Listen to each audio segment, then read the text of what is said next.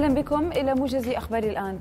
أعلنت وزارة الداخلية الأفغانية انتهاء الهجوم على السفارة العراقية في كابول الذي تبناه تنظيم داعش الإرهابي والذي أسفر عن قتل حارسين بالسفارة بالإضافة لجميع المهاجمين التابعين للتنظيم.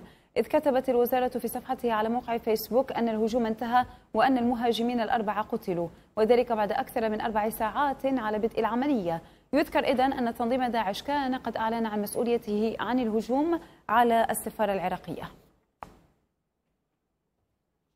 أدانت وزارة خارجية مملكة البحرين الاعتداء الإرهابي الذي وقع بمحافظة القطيف بالمملكة العربية السعودية يوم أمس والذي أسفر عن استشهاد رجل أمن وإصابة آخرين وشددت وزارة الخارجية على وقوف مملكة البحرين إلى جانب المملكة العربية السعودية في حربها ضد كل أشكال الإرهاب ومن يدعمه ويموله.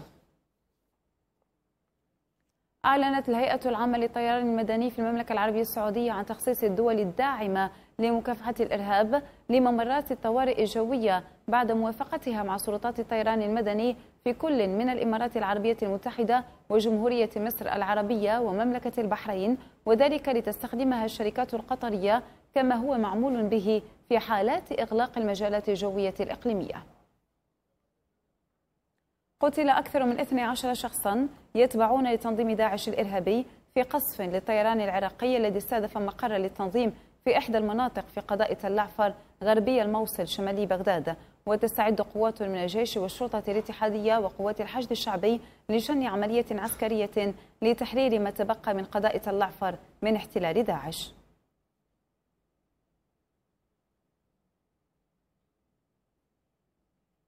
يواجه الرئيس الإيراني السابق محمود أحمد النجاد اتهامات بإساءة استخدام أموال حكومية تقدر بمليارات الدولارات حين كان في منصبه.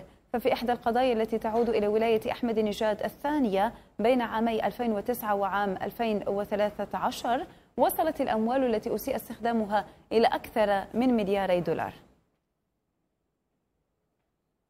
سجلت نسبة البطالة في منطقة يورو تراجعا طفيفا في حزيران يونيو إلى 29% محققة أدنى مستوياتها منذ شباط فبراير 2009 بحسب ما أعلنه يوروستات الأوروبي للإحصاءات.